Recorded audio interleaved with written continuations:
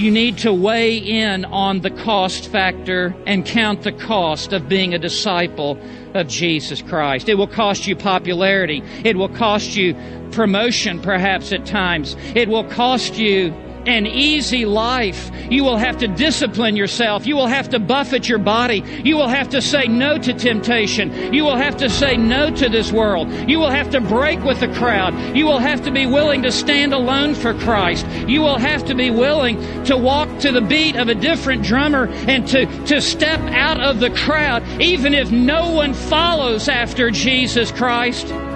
You'd be willing to stand if you were the only person in the world for Jesus Christ. That's the cost factor. You would have to be willing to suffer persecution for Christ. And let me tell you, it will come. It might even cost you your life. He is not coming to play games. He is not coming to be docile. He is coming to dominate, and He is coming to slaughter. He is the King of kings and He is the Lord of lords. And at the end of this age, He will bolt out of heaven on a white steed and His garments are dripped in blood, the blood of His own enemies. And He is coming back to conquer and to damn. You need to make terms of peace with this coming king, or you will be subjected in damnation forever. And Jesus Christ has made terms of peace. You need to settle out of court with him. You do not want to go into that final day of conflict with Christ. For he will be ruthless in the execution of his justice. But he offers you mercy today. He will agree to terms of surrender. He will agree to terms of peace, but they are his terms of peace, not ours. And his terms of peace are very simply this you must hate your own father and mother and brother and sister and even your own life more than me, or you cannot be my disciple, and you must take up a cross and follow me, or you cannot be my disciple, and if you do not, you will meet me in the final judgment,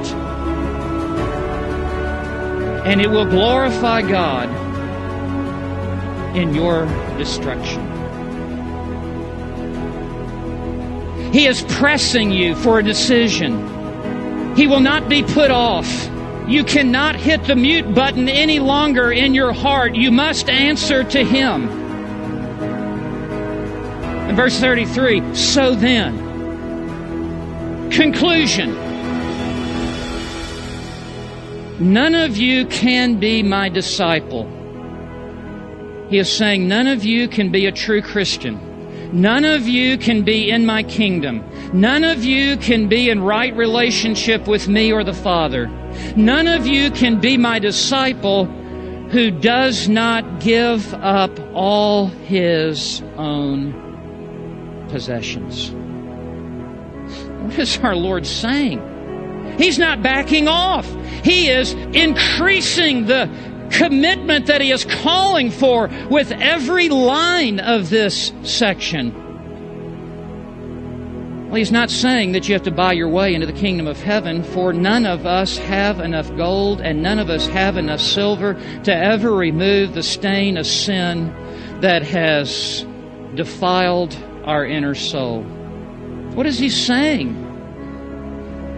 Who does not give up all of his own possessions well, this must be taken in context with other texts of Scripture, and let me just cut to the bottom line of the bottom line.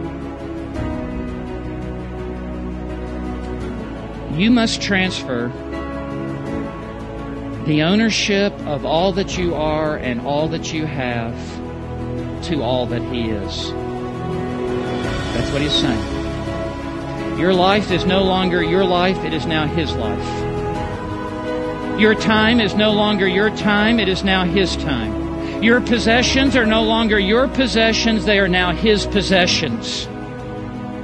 Your future is no longer your future, it is now His future. Your treasure is no longer your treasure, it is now His treasure, and you have transferred all that you are and all that you have to all that He is. That's what it is to meet His terms of peace. Yet the exchange is not bartered or bought with real money but it is purchased with the total, complete surrender of your life to Christ. That's what saving faith is. It is coming to the end of yourself and completely and entirely entrusting all that you are and all that you have to all that He is. This is your eternal soul. This is the only life you will ever live. This deals with the only eternity you will ever have. And so he says, salt is good, but if even salt has become tasteless, meaning it gives evidence that it was never true salt to begin with, with what will it be seasoned? And the answer is nothing. Verse 35, it is useless either for the soul or for the manure pile.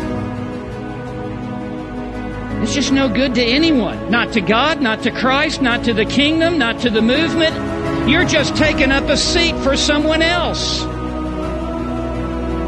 There were other people who were trying to get into this.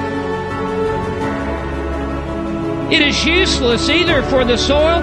You're not even worth the toilet spiritually speaking. Because you have not come to the place of total surrender of your life and supreme allegiance and supreme loyalty to Christ, you have not yet come under the lordship of Christ and taken up a cross to follow after Him. And then he says, He who has ears to hear, let him hear. You need to give strictest attention to what God has said in His Son. For God has spoken in His Son to us in this conference. And God has brought every one of us to this place. Not a one of us is here by accident or by happenstance, and it is the goodness of God and the mercy of God that has brought you to this place where you have heard of Isaiah 53. You have heard of the suffering Savior, the Lord Jesus Christ, who upon that cross became sin for us. Upon that cross, He died to self that He might live for us and that He might bear our sins and iniquities upon that tree and purchase our salvation. And there is salvation in no other name, for there is no other name under heaven given among men whereby we must be saved. Jesus said, I am the way and the truth and the life. No one comes to the Father but through me. And He is calling out to you today. Come unto me, all ye who are weary and heavy laden, and I will take you in and receive you unto myself. Take my yoke upon you and learn of me, for I am meek and lowly in heart, and you shall find rest for your souls. For my burden is easy and my yoke is light. It is, it is. You will have the weight of sin lifted off of you. And you will have now the yoke of Christ upon you. And He gets into that yoke with you and He pulls with you.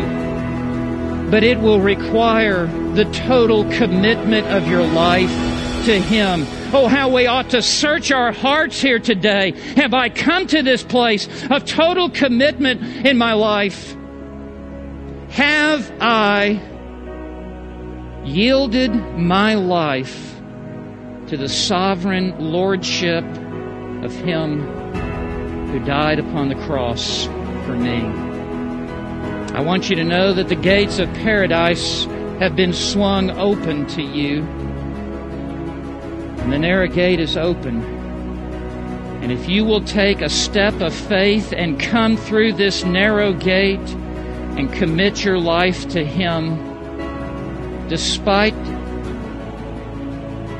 the strength of his words, he also says, Him who comes unto me, I will in no wise cast out. He is calling you today to come, to come to Him, to take a step of faith and to come to Him. But if you come to Him, don't play games. You must surrender to Christ.